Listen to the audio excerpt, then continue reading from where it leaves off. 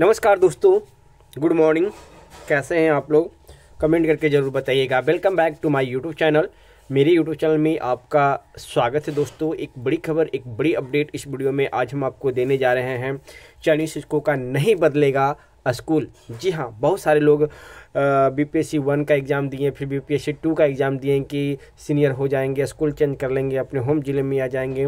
तो विभाग इसको मीटिंग लेकर फैसला लिया और बोला बोला गया कि उन लोगों का अब स्कूल नहीं बदलेगा। क्या है वो हम आपको देख सकते हैं। देखिए खबर भागलपुर से भी छप के आ रहा है और दोनों देखिए, इसमें भी है, उसमें भी है।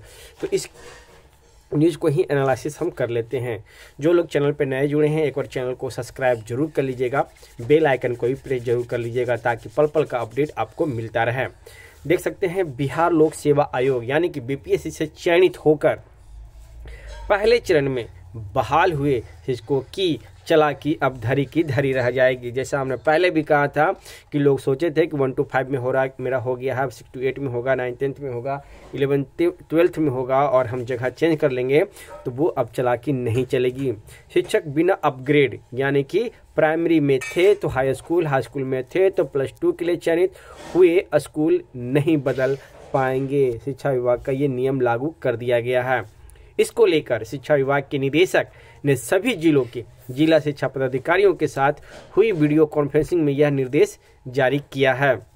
साथ ही इसे सख्ती से भी सभी जिलों में लागू कराने का निर्देश भी दिया है। दरअसल बीपीएससी शिक्षक भर्ती के पहले चरण में बड़ी संख्या में ऐसे शिक्षक भी हैं, जिन्होंने दूसरे चरण की भी परीक्षा पास की है। ऐसे में पहले अपने गृह ज़िले से दूर या फिर ग्रामीण इलाकों के स्कूलों में पदार्थी शिक्षकों ने अपने गृह जिला जाने या फिर शहरी क्षेत्र के स्कूलों में पदस्थापना का मन बनाया था।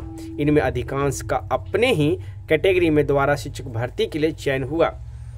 ऐसे में ये शिक्षक पहली परीक्षा के आधार पर अलॉट हुए स्कूल में बने रहेंगे।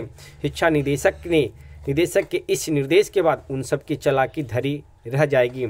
ऐसे शिक्षकों को शिक्षा विभाग द्वारा पद स्थापना के समय एनओसी नहीं मिलेगा। जी हाँ जो विद्यालय से एनओसी मिलता था, अब वो नहीं मिलेगा। अब वो नहीं मिलेगा तो वो दूसरे जगह जा नहीं सकते, यानी कि उसी विद्यालय में ही रहेंगे। हाँ जो शिक्षक दूसरे चरण की परीक्षा में पूर्व में चयनित कैटेगरी से अपग्रेड हुए हैं, सिर्फ़ उन्हें नए सिरे से जब स्कूल अलॉट होगा तो वह वहाँ ज्वाइन कर सकेंगे। तो ये उनको बेनिफिट मिलेगा, अन्यथा और सब टीचरों को बेनिफिट नहीं मिलेगा। यानी कि जो लोग सोचे थे कि अब हम स्कूल बदल लेंगे तो वो लोग अब स्कूल बदल नहीं पाएँगे। एक बड़ी खबर, एक बड़ी अपडेट हमने इस वीडियो में दी आपको दोस्तों। फिर मिलते हैं एक नेक्स्ट वीडियो में। धन्यवाद दोस्तों।